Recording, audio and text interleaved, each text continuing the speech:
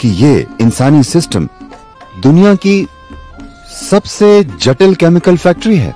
तो अगर आप इसे अच्छी तरीके से मैनेज करना जानते हैं तो आप जो चाहे इसे पैदा कर सकते हैं।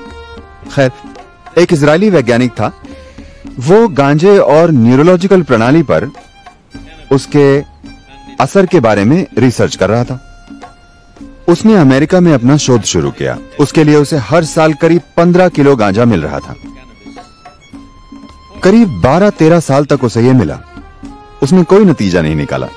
फिर वो इसराइल चला गया और दिखाया कि उसने अब तक क्या किया है। और वहाँ उसे उसकी मनचाही मात्रा में गांजा दिया गया। लगभग साढ़े चार सालों में उसने निष्कर्ष निकाला। उसने कहा, हमारे दिमाग के अंदर गांजे के लाखों ग्राहक बिंदु हैं। मगर क्यों? तो उसने ये सूचना अलग अलग वैज्ञानिक क्षेत्रों तक पहुंचाई।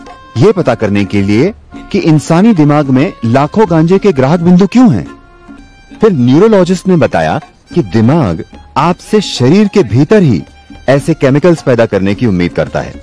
वो आपसे धूम्रपान की उम्मीद नहीं करता, ये आपसे वो पैदा करने की उम्मीद करता है ताकि आप हर समय अपने मूड को संतुलित रख सकें।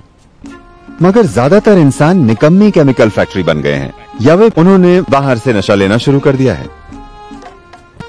आपके दिमाग के कुछ खास आयाम, खासकर निर्णय लेने की क्षमता, काफ़ी कम हो जाती है।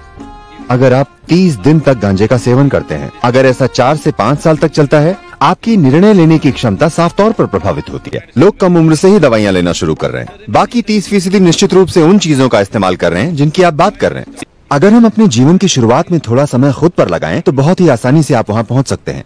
इसकी जगह अगर हम बाहरी चीज़ें लेते हैं तो उसके बुरे नतीजे हम जानते हैं।